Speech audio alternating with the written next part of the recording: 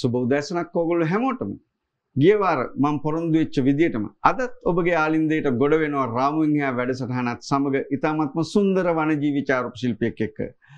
ඒ චාරුප ශිල්පය අඳුන්වලා දෙන්න කලින් මම කැමති ඔබට මතක් කරන්න දැන් මේ වෙනකොට අපගේ මේ සියලු වැඩසටහන් පෙළ ඔබට අන්තර්ජාලය ඔස්සේ නැරඹීමේ හැකියාව තියෙනවා.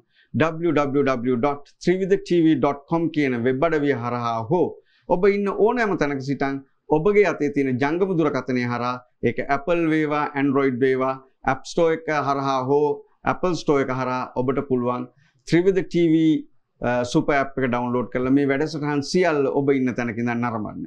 අද අපි ඔබගේ ආලින්දයට ගොඩ වෙන්නේ. ඊටාත්ම සුන්දර මිනිසෙක්, ඊටාත්ම දයාර්ධ මිනිසෙක්, මගේ හොඳ සහෘදෙක්, සහෝදරයෙක් සමග ඒකාත්මික වෙන්න මේ අඩ හෝරාව.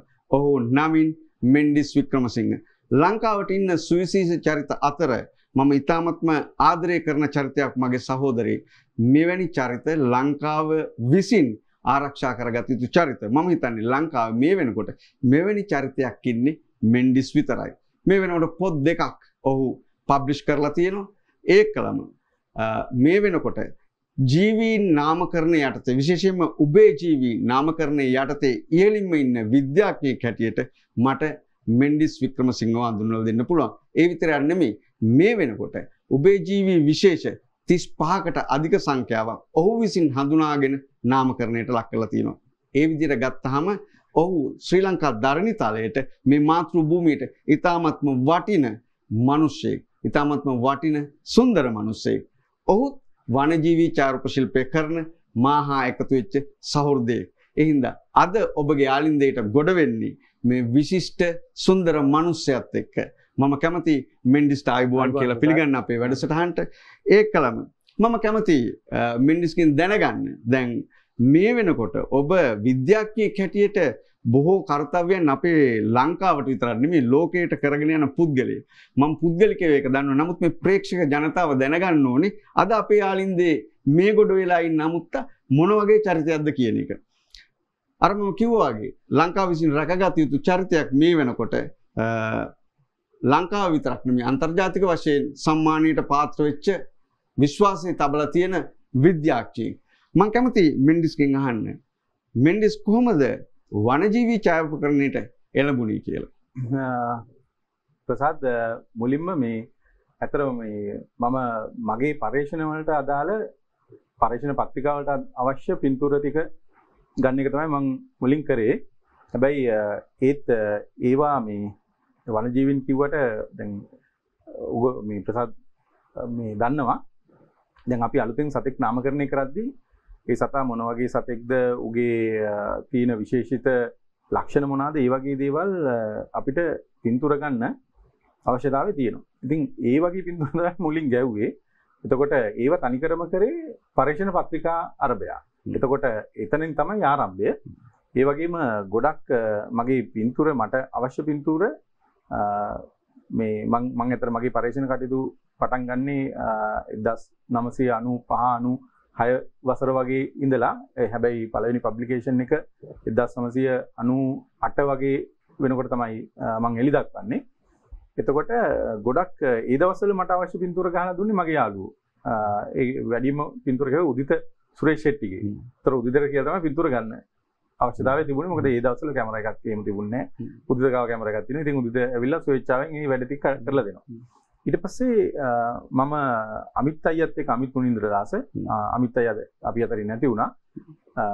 මොරටුව කටුබැද්ද යුනිවර්සිටි එකේ ඉලෙක්ට්‍රොනික් අන්සාධිපති විදිහට හිටිය අමිත් අයියා. ඉතින් අමිත් අයියා ඊගාවට මේ අමිත් අයියා එකට ගොඩක් වැඩ කරා. එතකොට අමිත් අයියා හුඟක් මට අවශ්‍ය පින්තූර ටික ගහලා දුන්නා පස්සේ දෙදස් හතේදී අතරම විතයි අපි අතරින් නැති වෙනවා. එතනින් පස්සේ තමයි මගේ පින්තූර මම ගාගන්න පටන් ගත්තේ. මේ මට අවශ්‍ය පින්තූර මං ගහන්න පටන් ගත්තේ. හැබැයි ඒ අතර දෙදස් තුන දෙක වෙනකොටත් පින්තූර ගහන් ගහන්න පටන් අරගෙන තිබුණා වනජීවි ඡායාරූපේ වගේ දේවල්. හැබැයි දීර්ඝ කාලිනව මේ අමිත් අයියාගේ නැතිවීමත් එක්ක තමයි මගේ අවශ්‍යතාවය ට මම පින්තුර කර මොකද කලින් දැන් විද්‍යාත්මක පත්‍රිකාවක් එලි දැක්වීමේදී ලොකු කර්තව්‍යයක් ඒ හරහා තියෙනවා. එතකොට කොටස් කොටස් අපි බෙදාගෙන තමයි වැඩ කටයුතු කරන්නේ. එතකොට තව කවුරු හරි කෙනෙක් තව කොටසක් කරනවා කියන්නේ මට තව වැඩිපුර වැඩ කොටසක් මගේ පැත්තෙන් කරන්න පුළුවන්. ඉතින් ඒ නිදහස අඩු වෙනවා. අඩු වෙනකොට ඒකත් එක්ක තමයි ඡායාරූපකරණයට මේ එළඹෙන්නේ. වනජීවි චාරුප ශිල්පයක් හැටියට මමත් හොඳින් දන්න කාරණාවක් තමයි සතගේ පින්තූරයක් ගන්නකොට සතාව හඳුනා ගන්න පුළුවන් දේ ලක්ෂණ සියල්ල ඡායාරූපයට නගා ගන්න ඕනේ. අපි සාමාන්‍යයෙන් කියනවා ප්‍රොෆයිල් ෂොට් එකක් කියලා. මේ ප්‍රොෆයිල් ෂොට් එකේදී සතාව හඳුන ගන්න ඒ සුවිශේෂී ලක්ෂණ ටික ඡායාරූපයට නගා ගන්න බැරි නම් නාමකරණයේදී හා හඳුනා ගැනීමේදී ඊටාත්ම දෝෂ සහගත තැන් වලට අපි ලක් වෙන්න පුළුවන්. ඒ හින්දා මට හිතෙනවා මේ වෙනකොට නාමකරණය හෝ හඳුනා ගැනීමේ ප්‍රශ්නයක් දැන් මින්ඩිස්ට නැතුව ඇති. මොකද මින්ඩිස් දන්නවා මොන විදියටද සතා වඳුන ගන්න ඕනේ? සතාගේ දේහ ලක්ෂණ මොනවද? කොයි හැඩයටද? මොන ඇංගල් එකටද මේ පින්තූර ගන්න ඕනේ කියලා. ඉතින් ඊටාත්ම වටින මේ පණිවිඩයක් වටින දෙයක් අපිට වනජීවි චාරූප ශිල්පය හදාරන නවකයන්ටත් මේ හරහා දෙන්න පුළුවන්. මේ මේ කාර්යය කරගෙන යද්දී චාරූපකරණයට එළඹෙන්න කලින් මට මෙන්ඩිස් කිව්වා මේ ඇත්තටම මේ සත්තුන්ව අඳුන ගන්න ඒකට අවශ්‍ය කරන විදිහට පින්තූර ටික ගන්න තමයි චාරූපකරණයට එළඹුණේ කියලා. මෙන්ඩිස් කොහොමද පළවෙනි කැමරාව අරගත්තේ මොන වගේ පහසුකමක් ලැබුණද මොනවද අපහසුකම් තිබුණද පළවෙනි කැමරාව තමුන් සතු කරගන්න පළවෙනි කැමරාව මොන වගේ අත්දැකීමක්ද ඒකේ තියෙන්නේ? මේ පළවෙනි කැමරා එක ගන්න කලින් ප්‍රසාද් මගේ යාළුවගේ කැමරා තමයි පාවිච්චි කරේ. මොකද දැන් 1995 විතර වෙනකොට කැමරා ලංකාවේ වෙළඳ පොලේ ගන්න තියෙන ප්‍රමාණය හුඟක් අඩුයි. එතකොට තිබුණත් දැන් ඒ දවස්වල අපි සාමාන්‍යයෙන් පාවිච්චි කරපු කැමරා එකක් හුඟක් කට්ටිය ගාව තිබ්බ හොඳම කැමරා එකක් තමයි Nikon FM2 එක. ඒක තමයි ඒ දවස්වල තිබ්බ හොඳම කැමරා එක. මිනිස් මේ කට්ටියට පහසුවෙන් ගන්න පුළුවන්. හැබැයි මුලින්ම යශිකා FX3 එකක් මම පාවිච්චි කරා අජිත් ලොකුගේ අයියාගේ එක මේ ඒශික ෆෙක්ත්‍රී එකක්. ඊට අමතර උදිතක ලෙන්සස් වගේ ඇතිවුණ ටික පාවිච්චි කරා. ඊට පස්සේ මහේෂ් මල්ලි මමයි පොඩි පොඩි ඔය මහේෂ් චතුරංග මගේ ගෙවල් කිට්ටුව. මේ මගේ සහෝදරයෙක්. ඉතින් ඔහුයි මමයි එකතු වෙලා අපි දෙන්න ගෙවල් ළඟ ඉඳලා අපි කැමරා මිලදී ගත්තා FM10 එක. එතනින් තමයි ඇත්තටම පටන් ගන්න. එතකොට ඒකෙන් ආපු ගමන අද වෙනකොට මේ දැනට වෙළඳ පොලේ තියෙන මේ පහසුවෙන් වැඩ කරගන්න පුළුවන් උපකරණ කීපයක් ළඟා කරගන්න මට්ටමට ඇවිල්ලා තියෙනවා. හැබැයි හුඟක් උපකරණ මම අරන් තියෙන්නේ මගේ ව්‍යාපෘති වලින්. එතකොට ඒ ව්‍යාපෘති වලට අදාළ අරමුදල් රැස් කරන්න ඒ වගේ වට හුඟක් මගේ ප්‍රොජෙක්ට්ස් එහෙම මේ අපි හර්පඩොලොජිකල් ෆවුන්ඩේෂන් හරහා තමයි අපි රේස් කරේ. එතකොට මගේ වයිෆ් හුඟක් ඒවට උදව් කරන මේ දැන් ඇතරම දැන් මම දකින දෙයක් තමයි අපේ නිතතින් මහන දෙයක් තමයි මට කැලේ යන්න පුළුවන් වුණාට ගෙදර භාර්යාව කැමති නැහැ මම මේ දවස් තුන හතරක් හිට මේට ගිහිල්ලා ඉන්නවට එහෙම කියලා. දැන් මට නම් මේ ප්‍රශ්නය එක්ක ඒගොල්ලෝ මගෙත් එක්ක කියනවා එහෙම නැත්තම් මේ අපි මම වෘත්තියක් ඇටියට මමත් පර්යේෂණය කටයුතු කරන්නේ මගේ වයිෆුත් පර්යේෂණ හා මේ අධ්‍යාපනය කටයුතු කරන්නේ. ඉතින් හරි පහසුයි. ඉතින් එහෙම රේස් කරපු මේ ෆන්ඩ්ස් වලින් තමයි හුඟක් මට අවශ්‍ය බඩු මං අරන් ගෙන තියෙන්නේ ඊට අමතරව මගේ මිතුරන් මං කරන වැඩත් එක්ක ඔවුන්ගේ තියෙන සමහර වටිනා උපකරණ මට පරීක්ෂා කරපු අවස්ථා හුඟක් තියෙනවා. ඔහුගේ අත්දැකීම් පෙරත් එක්ක නැවතත් මේ අත්දැකීම් කොයි විදිහට විඳගත්තේ කොහොමද මේ ඡායාරූප අරගෙන ඉන්නේ කියන එක අපි කතා කරනවා. රාමුවෙන් එහා වැඩසටහනත් එක්ක රැඳී ඉන්න කෙටි විරාමයකට ගිහිල්ලා නැවතත් අපි ඔබ යාළුවෙන් ගොඩ වෙන්න.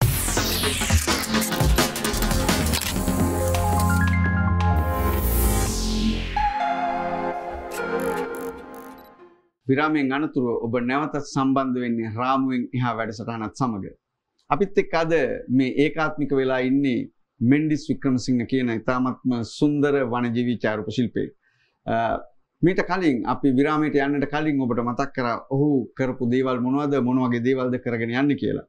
ඒකලම මේ මම අහන්න කැමති මෙන්ඩිස්ගෙන් වනජීවී චාරුප ශිල්පයකට ඇත්තටම මේ වනජීවී චාරුප ශිල්පය කිරීම හරහා මට තියෙන ප්‍රතිලාභ වෙනයි මිනිස්සු තියෙන ප්‍රතිලාභ වෙනයි. මම කැමතියි මිනිස්කින් දැනගන්න වනජීවී චාරුප ශිල්පය හරහා ඔබට ලැබිලා තියෙන ප්‍රතිලාභ මොනවද කියන්නේ?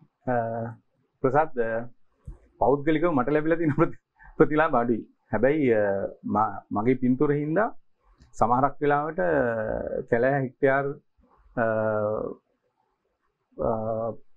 පණහ ඉඳලා හිතාගන්න බැරි ප්‍රමාණයන් බේරාගන්න කටයුතු කරන්න පුළුවන්කම ලැබිලා තියෙනවා. දැන් මම එක උදාහරණයක් විදිහට මම තව ඉස්සරහට පෙන්නන අංග පින්තූරයක්. ඒකේ තියෙනවා ගිරවෙකුයි මයින්කුයි පොරකන එක. එතකොට ඒක මම අධ්‍යාපනීය වෙනුවෙන් යොදා ගන්නවා. මොකද එක ගහක හැම අවුරුද්දෙම අදටත් ඒ ගහ ගියොත් විශේෂ හතක් අටක් ලංකාවේ ආවේනික කුරුල්ලෝ ඒ ඒ ගහේ බිත්තර දානවා. ඒ බෙනේ එක බෙනේ. ඒතර එක කට්ටියක් යනකොට තව කට්ටියක් බිත්තර දානවා. එතකොට ඒ වගේ පුදුම තරගයක් තියෙනවා. ඒකට හේතුව කූඩුවක් හදන්න තරම් ගහක් නැතිලා තියෙනවා. අද මේ වෙනකොට ලංකාවේ පරිසරය තුල එච්චර මිනිස්සු ගස් කපලා තියෙනවා. කැලෑ විනාශ කරලා තියෙනවා. එතකොට මේ ගහ මේ අපි හැමෝම දන්න සුලභ ගහක්. හැබැයි ලංකාවේ ගහක් නෙවෙයි. තේවතු වල හිටවන අර හෙවණට හිටවන මාර ගහක්. එතකොට අක්කර 50 කියලා දැරණියකල ප්‍රදේශයක් තිබුණා. ඔය අක්කර 50 ප්‍රදේශයේ තනිකරම තියෙන්නේ මේ කියන ගස්. එතකොට එක ව්‍යාපෘතියකින් මේ අක්කර 50 සංවර්ධනය කරන්න මේ ගස් ටික කපන්න මේ ප්‍රොපෝසල් එකක් දාලා තිබුණා. ඇත්තට වනජීවි සංරක්ෂණ දෙපාර්තමේන්තුවේ මේ ශ්‍රීපාද රක්ෂිතර යාබද ඉඩම. ඉඳා මම තමයි වනජීවි සංරක්ෂණ දෙපාර්තමේන්තුවෙන් කරුණු දක්වන්න ගියේ. එතකොට මගේ ප්‍රශ්නේ උනේ මේක හා තමයි මම දන්න විදිහට ලංකාවේ ගොඩක් කුරුල්ලෝ සුලභව බිත්තර දාන්න පාවිච්චි කරන ගහක්. ගොඩක් ආවිනික කුරුල්ලෝ. එතකොට අක්කර 50ක ගස් කපද්දි මේ තනිකරම එතන තියෙන මුළු පරිසර පද්ධතියම බිත්තර දාන්න තියෙන ගස් ටික තමයි මේ කපන්නේ. එතකොට ඔය පින්තූරේ හරහා මම ඒක නවත්ත ගත්තා. ඊට අමතරව දැන් මම පබ්ලිෂ් කරා පොලිපොඩේටර් සංගල්ල කියලා ගෙම්බෙක්. සංජය රංගල මහත්මයා වෙනුවෙන් තමයි ඌ නාමකරණය කරන්නේ. ඒතකොට ඉන්නේ ගිලිමලේ රක්ෂිතේ විතරයි ඒ දවස්වල අපි දන්න තොරතුරු වල හැටියට. හැබැයි දැන් නම් තව තැන් කීප එක හම්බෙලා තිනවා. එතකොට රත්නපුර යට වෙන්න ගම් අතුර පාලනය කරන්න මල්වල ගම හරහා ලොකු ඩෑම් එකක් බැඳලා මේ එහෙම කරන්න ව්‍යාපෘතියක් තිබුණා. හැබැයි ඒ ව්‍යාපෘතිය කරා නම් අපිට මල්වල කියන පහතරට තෙත් කලාපයේ මේ විශාල ඉතාම ශස්ත්‍රීක කැලෑ ටිකක් නැති වෙනවා. ඒ වගේම තමයි ඒ හරියේ ඉන්නවා පොලිපොටේට සංගල්ල ගෙම්බයි ඊට අමතරව කොඩි කූඹියක් ඉන්නවා. ඒ කූඹි විශේෂයක් ඒ කිට්ටුවම තමයි ඉන්නේ.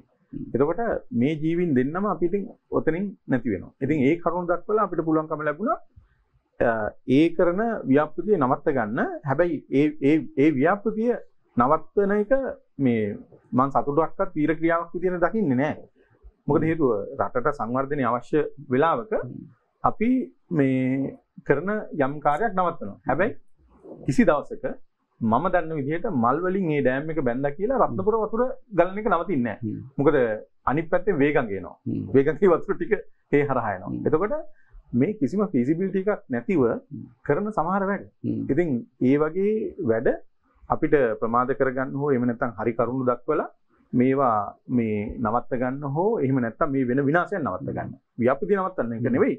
විනාශය නවත්ත ගන්න හෝ අඩාල කරගන්න අඩු කරගන්න මං ගත්තු පින්තූර හුඟක් වැදගත් වෙලා තියෙනවා. ඒ වගේම මගේ පරීක්ෂණ කටයුතු වලින් ගත්ත දත්ත මගේ වෙනත් මිත්‍රෙන්ගේ පරීක්ෂණ වලින් ආපු දත්ත ගොඩක් වැදගත් වෙලා තියෙනවා. ඔව් මම හිතනවා මේ මෙන්ඩිස් සහෝදරයා මේ කියන්නේ මෙන්න මේ ඡායාරූපය ගැන වනජීවී ඡායාරූපය ගැන හොඳින් දන්න වනජීවී සතුන්ගේ චර්ය රටාවන් ගැන නිසි අවබෝධයක් තියෙන ඕනම ඡායාරූප ශිල්පියෙක් දන්නවා මේ පින්තූරේ වටිනාකම මොකක්ද කියලා.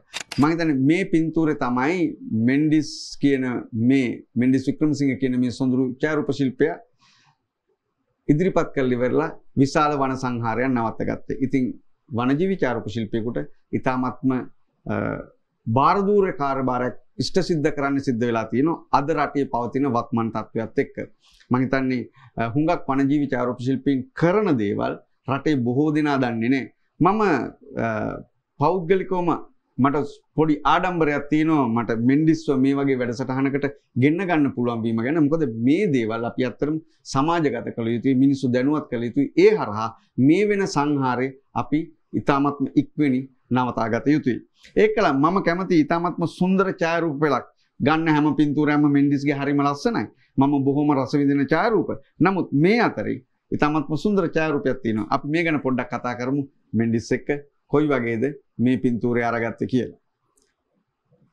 මේ මං සාමාන්‍ය පින්තූරයක් ගහද්දි ප්‍රසාද් කිසිම කලබලයක් නැතුව එක ගැන ගොඩක් ඉඳලා පින්තූර ගන්න. මොකද මම දන්නවා සතෙක්ගේ චර්යාවන් කොයි විදිහටද තියෙන්නේ මොන වගේ වෙලාවකද මේ සතා හැරෙද්දි මේකයි වෙන්නේ කියන එක මගේ පර්ේෂණ කටයුතුත් එක්ක මම ලබූ අත්දැකීම එක මගේ මට ඉගෙන දැනුමක් තියෙනවා එතකොට සමහරක් ඒවා මම සමහර අවුරුදු දෙක තුන ප්ලෑන් කරලා ගහපු පින්තූරක් තියෙනවා. හැබැයි මේක කරුවේ ආම්බේ. මේ මම මගේ මිත්‍රෙක් එක්ක සමන්ගමගේ කියලා මේ බූන්දල ගිහිල්ලා යනකොට අපි නැවතුනේ රන්න ප්‍රදේශය තැන තැනක. ඊට පස්සේ මේ මේ මං හුඟක් වෙලාවට ට්‍රිප් එකෙන් පස්සේ කැමරා බඩු ගලවලා පැක් කරලා තමයි ගේන්නේ. හැබැයි එදා මහන්සියටත් එක්ක දවස් 3-4ක ට්‍රිප් එකක්. මං කැමරා මගේ 600 කැමරා එක පාවිච්චි කරේ ලෙන්ස් එක පාවිච්චි කරේ කැමරා බඳයි ලෙන්ස් එකයි මං ඔඩොක්කුවේ තියාගෙන එනවා. ඒකට මට නිින්දක් ගිහලා තිබුණා. ඊට පස්සේ සමන් කතා කරලා කිව්වා මොකද්ද අර තියෙන්නේ කියලා. එතකොට තමයි මම දැක්කේ ඇත්තටම පිටිපස්සේ වාහනයක් තියෙනවා. ඒ වාහනේ දෙන්නෙක් බැහැලා මේ මේ සතා පාරහරා යනකොට ඒගොල්ලෝ නවත් මේ ඒගොල්ලෝ පින්තූර ගන්නවා. එතකොට අර වාහනේ ලයිට් එකයි අර දෙන්නයි හින්දා මූ එකපාරට කබල් ඇවේ. ඌ පාර මැද හිටගෙන හිටියා. එතකොට අපි දෙන්න ටක් ගාලා බැහැලා කැමර බඳවල් දෙක බිම තියලා ටක් ටක් ගාලා පින්තූර කීපයක් ගත්තා.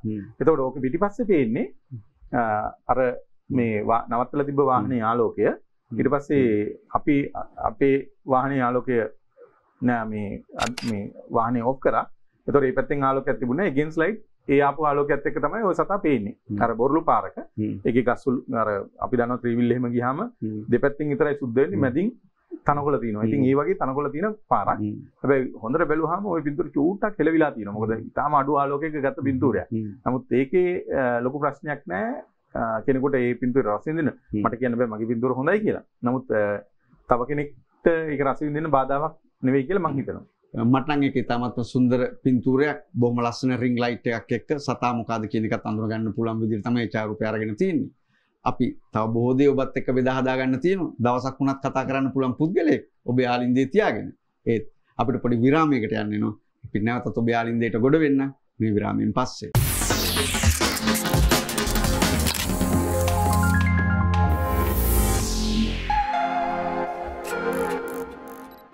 ඔබ නැවතත් මේ සම්බන්ධ වෙන්නේ රාමුවෙන් එහා වැඩසටහනත් එක්ක. අපේ සොඳුරු චාරප ශිල්පයට යොමු වෙන්න කලින් මම කැමති ඔබට නැවතත් මතක් කරන්නේ අපේ වෙබ් අඩවිය www.trividhatv.com කියන වෙබ් අඩවිය හරහා ඔබට දැන් හැකියාව තියෙන ලෝකේ ඕනම තැනක ඉඳන් අපි මේ ගෙනෙන වැඩ සටහන් සියල්ල ඔබ ඉන්න තැනක ඉඳන් නරඹන්නේ. ඒ විතරක් නෙමෙයි. ඔබේ අතේ තියෙන ජංගම දුරකථනය හරහා වුණත් එය Android වේවා Apple වේවා ඒ අදාළ App Store එක හා Play Store එක හරහා ඔබට පුළුවන්කම තියෙනවා ත්‍රිවිධ TV සුපර් ඇප් එක ඩවුන්ලෝඩ් කරගෙන ඔබ ඉන්න තැනක ඉඳන් මේ වැඩසටහන් සියල්ල නරඹන්න. අපි නැවතත් යමු වෙනවා මෙන්ඩිස් සහෝදරයාගේ දිහාට. එතකොට මේ මම වනජීවි චාරුප ශිල්පියෙක් හැටියට මම පුද්ගලිකව දන්න දෙයක් තමයි සමහර විශේෂයන් චාරුපයට නගා ගැනීම හරිම අපහසුයි. විශේෂයෙන්ම මේ වවුලුන් වගේ සතුන්. වවුලන් ඇත්තටම රාත්‍රී කාලේ නිසාසර පක්ෂීන්. මේ ඡායාරූපය ගත්තාම මම හිතනවා ඔබට පැහැදිලිව පේනවා ඇති කියලා. මේක රාත්‍රී කාලයේ ගත්ත ඡායාරූපයක්ද දහවල ගත්ත ඡායාරූපයක්ද මේක ගුහාවක තියෙන ඡායාරූපයක්. මම කැමතියි මේ ඡායාරූප සම්බන්ධයෙන් මෙන්ඩිස්කින් දැනගන්න මේ ඡායාරූපය ගත්තේ කොහෙදද කොහොමද මේ සඳහා භාවිතා කරපු ක්‍රමවේදය මොකක්ද කියන එක දැනගන්න. මේ ඡායාරූපය ගත්තේ ගම්පහ කියන ප්‍රදේශයේ ගම්පහ කියන්නේ මේ ගම්පහ කියන මේ අපේ කොළඹ නුදුරු ප්‍රදේශය නෙවෙයි වැල්ලවයි කිට්ටුව ගම්පහ ප්‍රදේශයේ එතකොට මේ කීප දවසක් ওই ගුහාවේ අපේ වැඩ කටයුතු සිදු කරමින් පැවතුණා. ඒ අතර වවුලු සෑහෙන ප්‍රමාණයක් ඉන්න මම මම දැක්ක ලංකාවේ ලොකුම වවුල් කොලනියක් ඉන්න තැනක්. එතකොට මේ දැන් අපි ගුහාවක ගිහිල්ලා බැලුවාම සමහරක් වෙලාවට මිනිස් ක්‍රියාකාරකම් හින්දා ඒවා සෑහෙන ජරා වෙලා තියෙන්නේ. දැන් සමහර මිනිස්සු ඇත්තටම අපි නොහිතුවට ලොකු හුළුවතු බැඳගෙන ගිහිල්ලා ගොඩාක් වවුල් ඉන්න තැන්වල ගිනි තියනවා. ගිනි තියලා සමහරක් වෙලාවට වවුල් වල්ලගෙන කනවා. ඒ වගේ අවස්ථා තියෙනවා. ඉතින් එහෙම පුච්චලා තිබුණා ගොඩක් තැන්වල. එතකොට අඳුරු පැහැව පැහැ ගැන්විලා තිබුණා. හැබැයි මෙතන හරි ලස්සනයි මේ මේ ඔය මම පිටුරේ ගහපු තැන.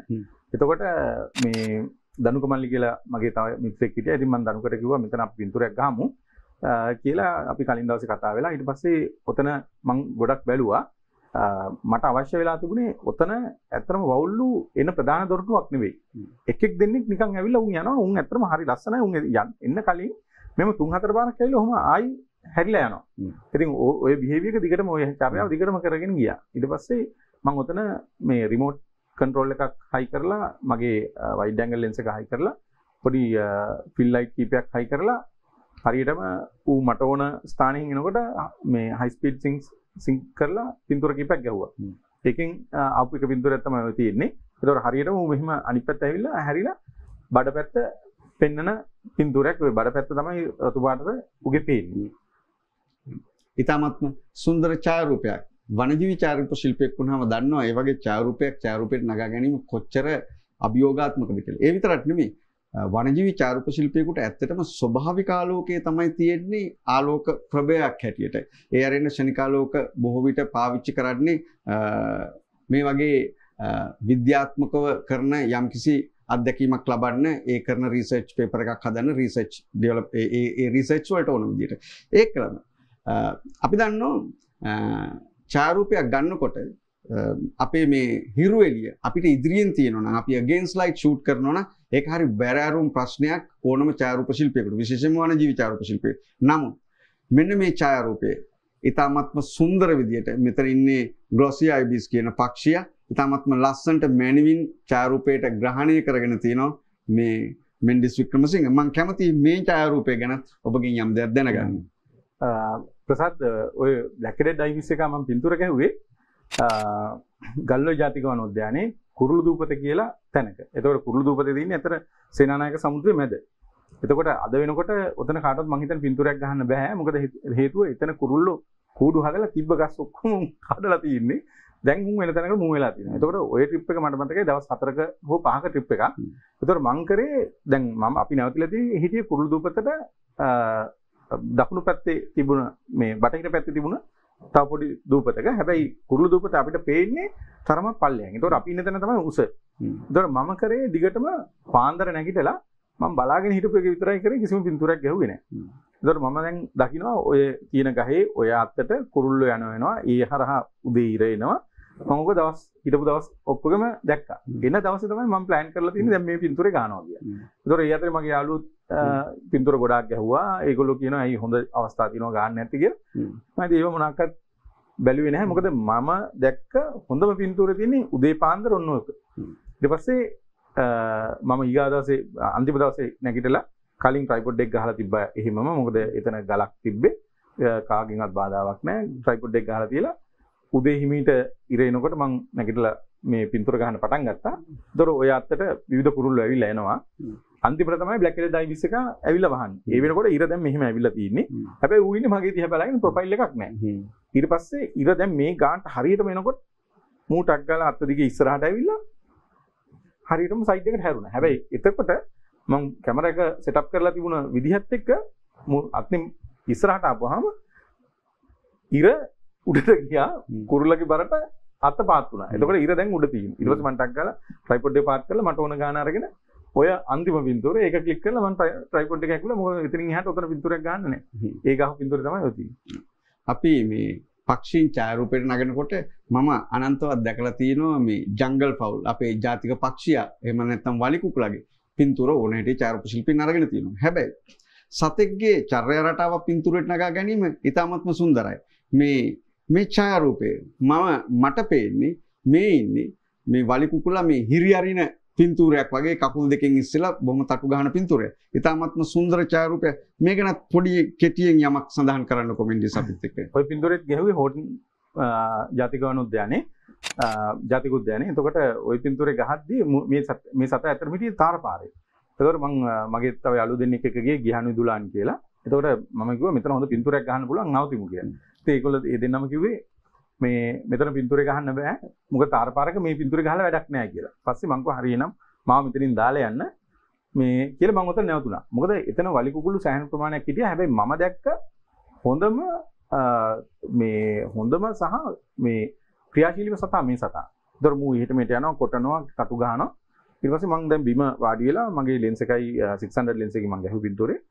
ඊට පස්සේ 5D Mark III බොඩි එක මං පින්තූර ගහන්න පටන් අරගෙන දැන් ඉන්නවා මූ එහෙට මෙහෙට දුවනවා අනිත් එවුන් එලවනවා. පස්සේ එක අවස්ථාවක මූ අඬලන්න ගත්තා. හරියට මගේ ඉස්සරහට ඇවිල්ලා ওই පින්තූරේ පොඩ්ඩක්වත් ක්‍රොප් කරලා නැහැ.